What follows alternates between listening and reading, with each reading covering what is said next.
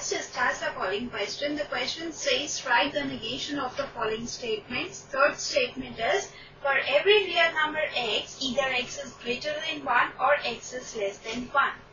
Let's now begin with the solution.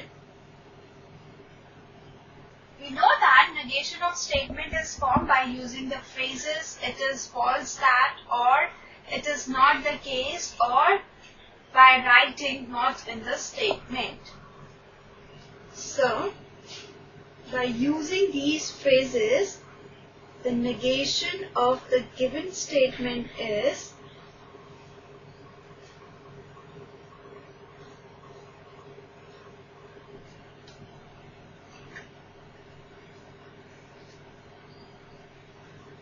it is false that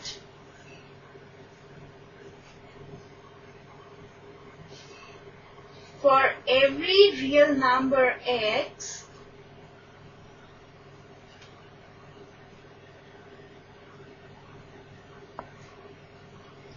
either x is greater than 1 or x is less than 1.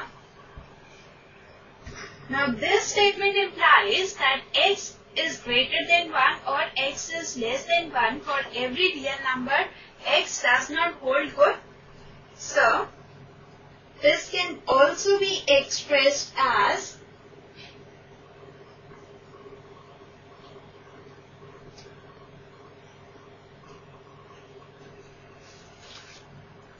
there exists a real number x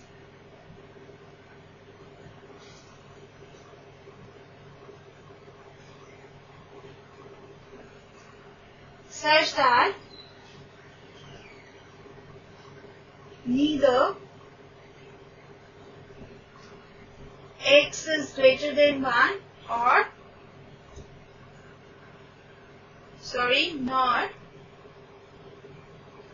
x is less than 1. This is our required answer. So this completes the session. Bye and take care.